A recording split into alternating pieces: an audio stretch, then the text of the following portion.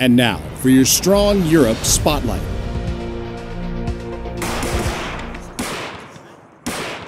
Slovenia is alpine country, so we have a lot of mountains. Our tradition is mountaineering, so what we can offer to partners, to alliance, infantry mountain warfare. The new Mountain Warfare Center of Excellence, located outside Bled, Slovenia, was on display for senior leaders from 33 countries as part of the 9th Annual Conference of European Armies for Non-Commissioned Officers.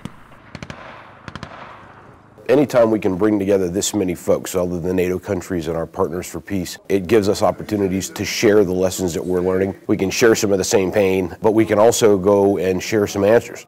We are NATO, we are partners, we are one, one big family, so it's helped to build a good relationship, to build friendship and security. For more information on the Army in Europe, go to eur.army.mil.